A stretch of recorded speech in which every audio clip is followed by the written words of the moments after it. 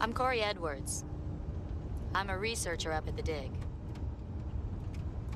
And you are? Uh, Sean Barker. Uh-huh. And? Look, I'm sorry. I didn't mean to freak you out back there. It's just... This is important to me. Nice to meet you.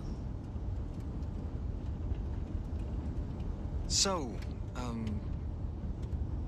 Why'd you come back? Because I'm a scientist. I know what it's like to need to know.